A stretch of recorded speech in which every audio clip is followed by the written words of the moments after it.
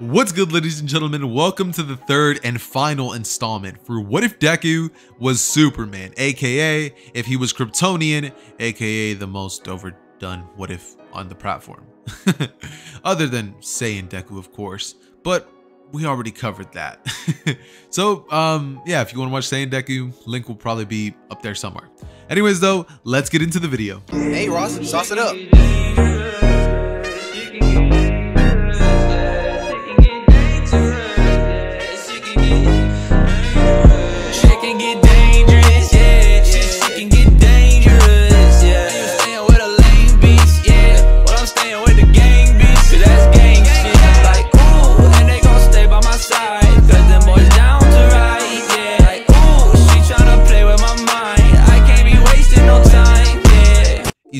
Be pleasantly surprised to see Shinso there, and so both of them would kind of nod.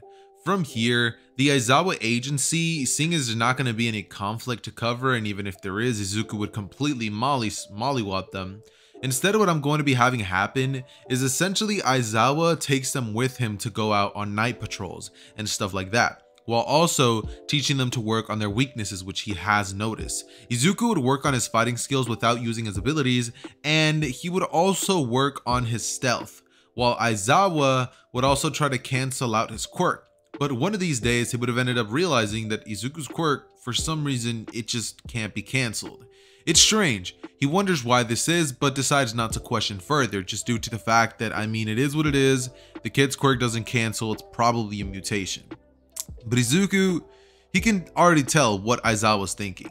He wanted to cancel his quirk, and Izuku could tell just by the fact that his eyes turned red and his hair began going up. So Izuku would pull Aizawa to the side one day and tell him, yeah, so you're not going to be able to cancel my quirk because I don't have one. Aizawa looks at him and asks confused with a smile on his face asking if he's kidding. But Izuku just looks at him with a stern face and says, I'm not. Aizawa sensei, I'm truly quirkless. And I'm not from this planet either. That's where all my power comes from. Look above. As I would look outside to see, you see the sun? As I would nod and say, well, what what about it? And Izuku would say, that's the source of my power. Every time that I'm near the sun, I grow stronger. I haven't flown out of this, or, you know, out of the atmosphere too many times, but from what I can tell, I can breathe in outer space. It's strange, but it works somehow. Aizawa looks at him and is genuinely like, what is going on? This kid is actually from space? Like, he's not kidding. And so as Izuku would tell him that, Aizawa would end up saying that he won't say anything from here, and Shinso would have been uh, nearby overhearing this entire conversation.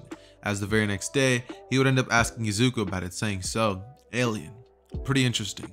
You have any weaknesses I should know of? With Izuku simply saying, Nah, not that he knows. He's pretty strong overall.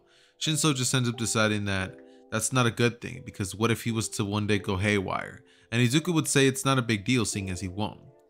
Uh, Shinso would keep a keen eye on him, but eventually he would soften up to Izuku and they would both end up creating a pretty decent relationship with each other, where Shinso has more of this serious personality and Izuku is more like lighthearted, chill, and likes to be around people.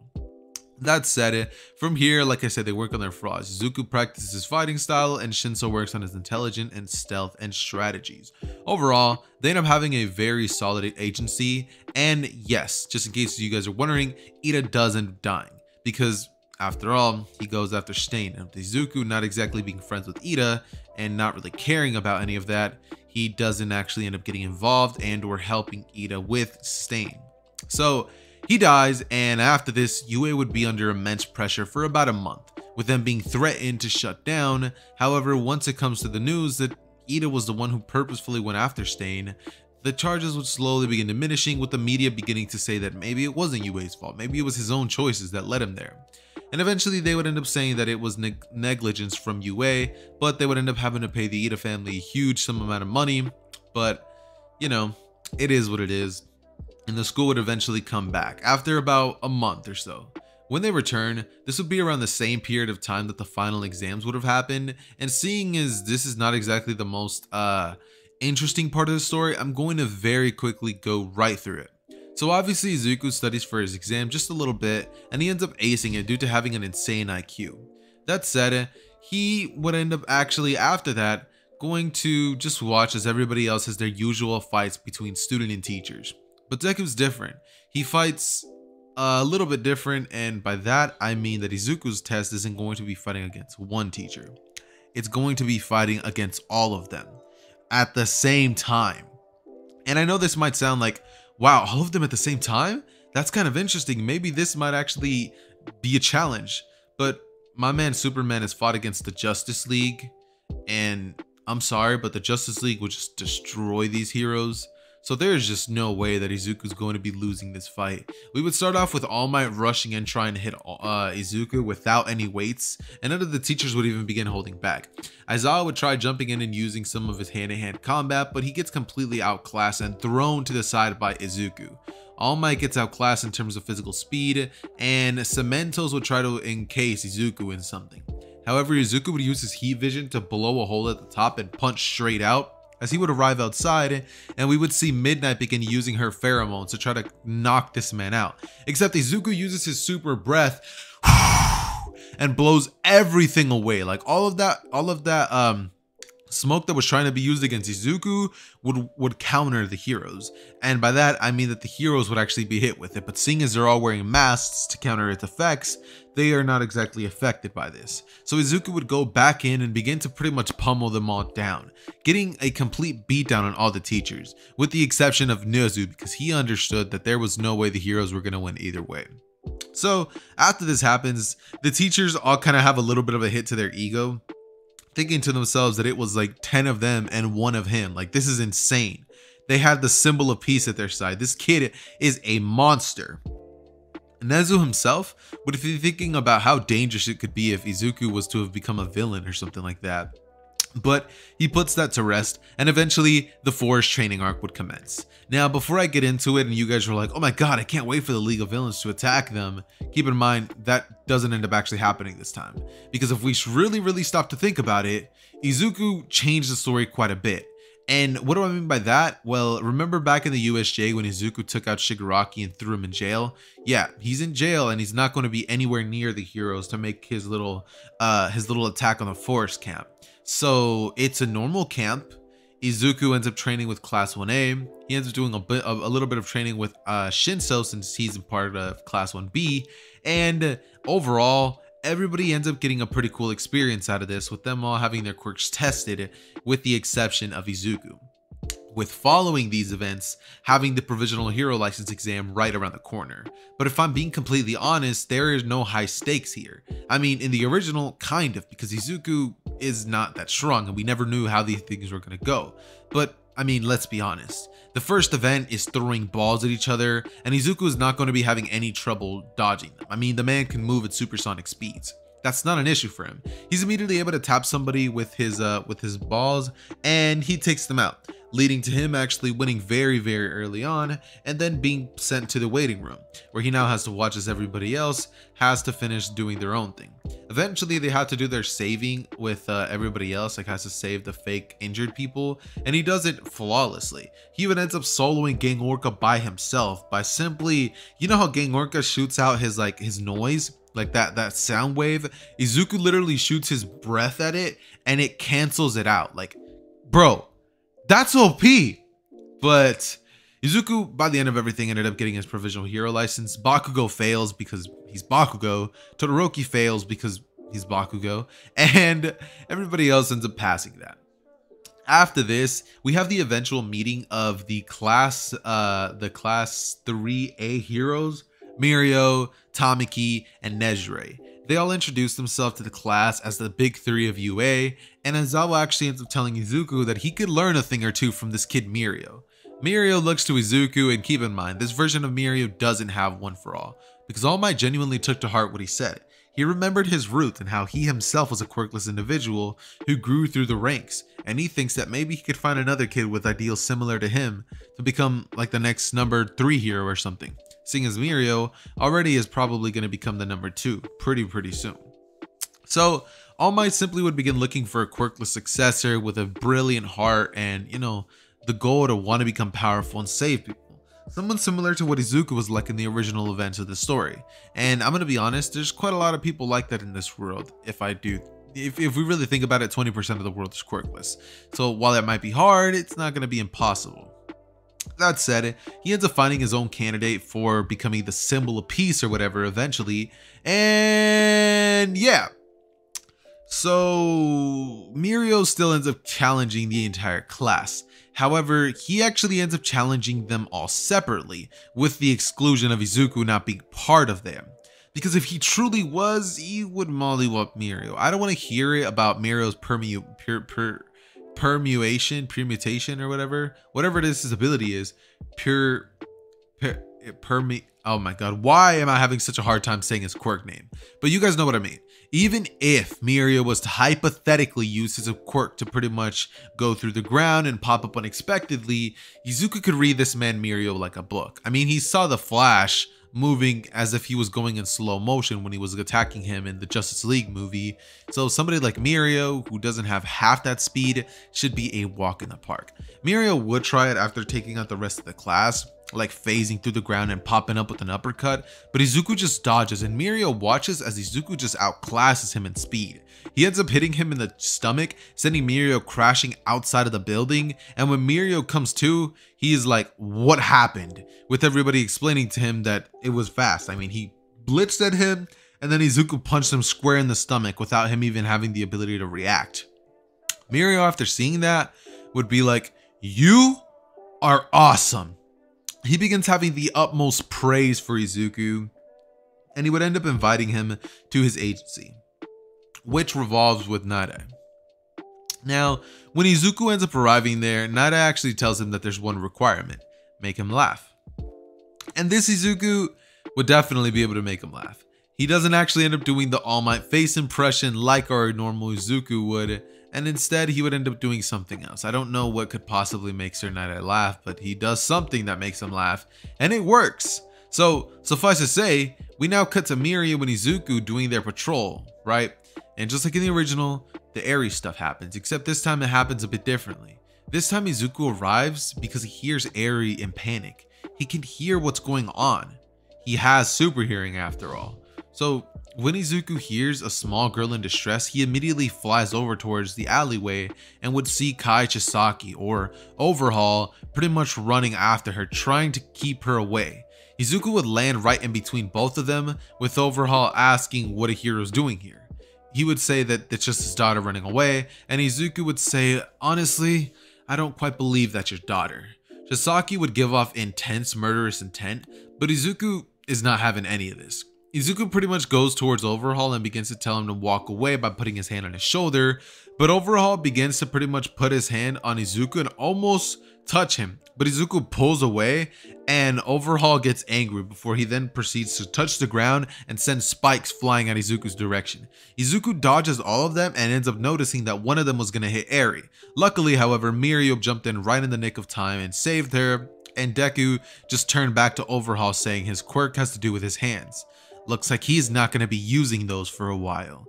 Izuku would blitz right in front of him, grab him by the wrists, and like shatter them. He just squeezes Overhaul's arm, shattering this man's wrists and leaving him to scream out in pain as what just happened. Just, you know, it happened. Following this, Izuku would look to Mirio and ask him if she's okay, and the girl would nod, before Izuku gives her the brightest smile that could light up a room and he would then tell her that she'll never have to be scared again, telling her that he's gonna be her big brother from now on, with Eri giving him the biggest smile ever and Izuku and Eri just both getting along. From here, we end up cutting to Overhaul being thrown in Tartarus and having a uh, having his quirk cancellation bullets terminated, seeing as, you know, they weren't about to do anything to him. So, yeah, that ends up going down. And from here, we end up cutting to the very next event that happens in, well, UA, the UA School Festival arc. Now, the way that I see this going down is Izuku is not going to be forgetting the stuff like he would have in the original. Keep in mind that in the normal events of canon, Izuku forgot his things and therefore ended up running into Gentle and La Brava. But this time, that doesn't happen. Izuku is more than smart enough to keep in mind that he has to bring a couple of things, and so he does so resulting to them having a pretty successful festival up until when they were all about to perform their, you know, their iconic show. However, that's when Gentle arrives at the top of the building and before he even has a chance to like announce himself or turn on the camera, Izuku notices him and hears his intentions of ruining everything by being a dastardly criminal and Izuku would simply proceed to essentially fly over there at supersonic speeds and just grab La Brava and Gentle by the heads and slam them into each other, causing them both to be knocked out. He just leaves them there until the end of their performance and then takes them to the authorities for them both to be taken into custody. Which honestly, it's pretty funny when you really think about it.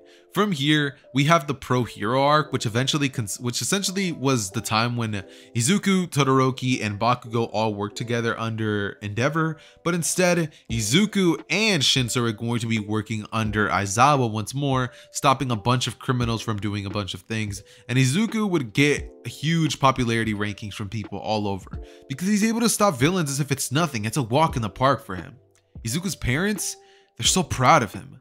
I mean, they couldn't have expected any more from their baby. And they're just just happy. How else do i put it? They are ecstatic. That's all i could really say. Following that we end up jumping to the joint training arc. And i love arcs like these where the students end up actually fighting against each other because i don't know they're they're just fun to me but Izuku's team would end up going up against Class 1B's team, which would include, okay, so Izuku's team is going to be Uraraka, Min Mina, and Mineta versus Shinso, Monoma, and the other three background characters. Why is it five? Because Izuku's on one team. So they kind of try to even things out a little bit. That said though, the way that I see this battle going down is essentially Shinso would try to use his brainwashing quirk on Izuku by using his stealth and the things that he would have learned from, well, Aizawa, but Izuku's able to use his x-ray vision to pretty much locate Shinso's location and appear behind him asking him what he thinks he's doing. Shinso would be shocked and use his scarf to pretty much grapple away uh, to another location before Izuku appears before him once more and tells him that it's not going to be working ever again, before he then appears in front of Shinso and crushes his device that he uses to change voices with. As Izuku tells him that, yeah, he's getting thrown in jail. And before Shinso knows it, by the time that he blinks, he appears inside the cage, wondering how that happened so fast but he would simply look down and think to himself that, yeah, Izuku, he's just too broken to be stopped. He would then go on to obliterate the rest of the team, and everybody watching, including the Pro Hero Commission, would be thinking that that Izuku kid, he has some quirk they would end up coming to a, a, a, concession, which would end up being that Izuku is honestly way too powerful to even be in the pro hero course anymore. And so they end up deciding to make him debut as a pro hero early on, with a couple of months of training ahead of his class in a special course that's going to teach him how to run an agency and do things like those those types of things. Now, the Meta Liberation Army, it's still a thing, so how do I how do I cover that? How do I cover that? Okay, so Deku is obviously going to be a hero, right? And as soon as he does become one in a couple of months, he begins rising through the ranks. Keeping in mind that the League of Villains pretty much got shut down in the USJ arc, they're not there to actually take out the Liberation Army. So what ends up happening is the Hero Commission would actually task Izuku with taking out the Hero Liberation Army and what ends up happening is Izuku, he agrees. He's like, sure thing, I'll get that done for you by sundown. Izuku would fly towards their direction and bust in through the windows of the area where the main villain is at. And all of the other villains could not have been none the wiser. I mean, Izuku busted in so fast, nobody could even notice. But Izuku then goes to the leader and asks him what his whole organization is here for. He explains his goals, his, his thought process, and why he's doing what he's doing with him saying that Redestro's ideals are going to live on no matter if he kills him. But Izuku would look to him and say, Kill you? Dude, I'm not a villain. I'm not about to kill you. He says, I'm too good for that. And then the villain would say, Good, because I'm not too big for that. As he begins using his quirk and growing in size, pretty much destroying the top of the entire area, leading to Izuku saying, So it's gonna be like that then. Fine.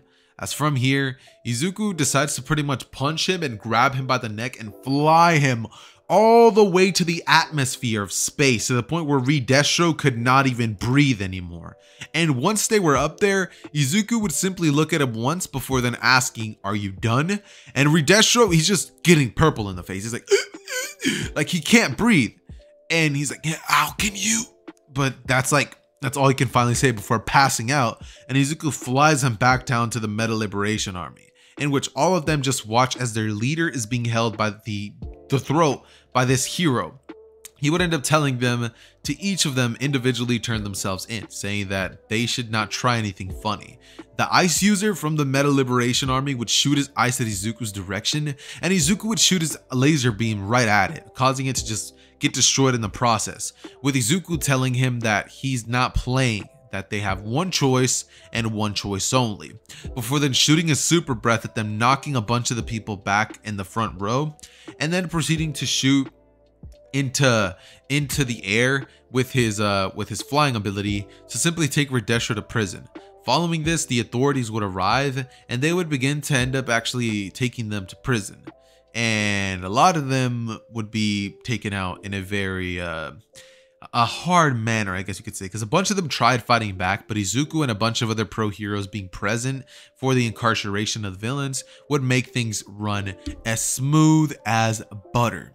That said though, we pretty much end up cutting to a kind of ceremony for Izuku. After he ended up getting paid, after getting paid his first million dollars for being a hero, Izuku gives half of his check to his parents and ends up giving a huge speech where he pretty much thanks everybody, all of you, for watching this video to the end. Thank you guys so much for tuning in for the first, the second, and the third installment. We all knew this series wasn't going to be a long one, but it was great while it lasted, and I genuinely had a lot of fun with the first, second, and third part of this series. If you guys end up watching this in the full movie version, make sure to comment down below that you're here and hashtag full movie that you made it to the end. That said though, I love each and every single one of you guys. Remember to become a member if you want to get early access to my videos sooner. But with that being said, I love each and every single one of you guys. It has been your boy Xehther and I am out. Peace.